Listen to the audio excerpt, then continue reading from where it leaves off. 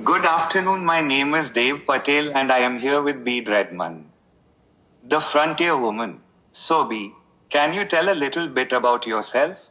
Oh my God, Dev. I didn't know.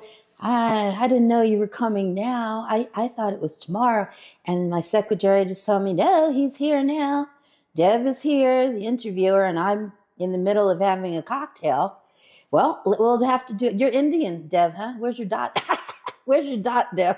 Usually I have a dot in the middle of your head, and it's not there. All right. Well, some of you guys wear the dot, some of you don't. I don't know. I, I don't know what it is. Some of you guys do. Okay, my name is um is Bee Dreadman, and I am called the frontier woman.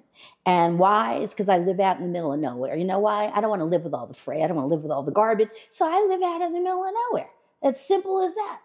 You know? Uh, my husband's name is Brad, and he's got a schlong as big. I mean, it's huge. You might as well know the truth. Know, this is an impromptu. He's he's very big, and I like it that way. So when I go to bed, you know, I use all my. We have porno costumes, and we use all our porno costumes at night. It's absolutely wonderful. Yep, that's what we do.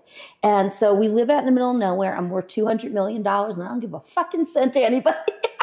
Not anybody. I don't give nothing to anybody because there's no reason. Huh? It's all my money. I earned it. My husband earned it, and I don't give nothing to nobody. I have five kids. They get some of the money, and sometimes they don't get shit either. I don't really care. Buy my products at Walmart. I got pots. I got pans. I got I got these. Look, look at these clothes. This is my from my new line. It's the Colonial line. Get it at Walmart. Okay. And with that, I'm going to go La Calle.